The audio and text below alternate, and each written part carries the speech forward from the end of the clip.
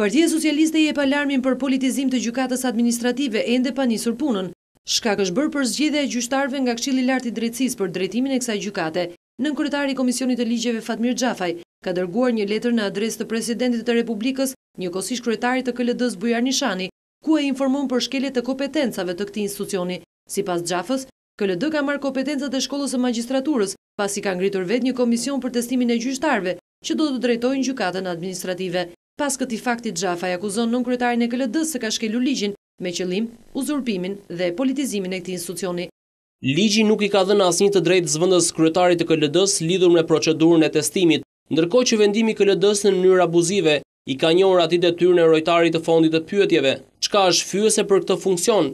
dhe kryesorja për Shkollën e Magjistraturës, duke shprehur dhe një mungesë të theksuar besimi ndaj këtij institucioni. Për sa më sipër rezulton një përpjekje e qartë e drejtuesve të KLD-së dhe të Ministrisë së Drejtësisë, për të uzurpuar kompetenca dhe përgjegjësi, që ligji nuk ua njeh, për të ndërtuar praktika e mekanizma abuzive që vendosin nën kontroll procesin e testimit dhe rezultatet e tij, me qëllimin e vetëm për të realizuar një përzgjedhje me orientim klientelist dhe politik të gjyqtarëve të gjykatave administrative. Fatmir Xhafaj akuzon më tej KLD-në dhe ministrin e Drejtësisë për procedura jotransparente.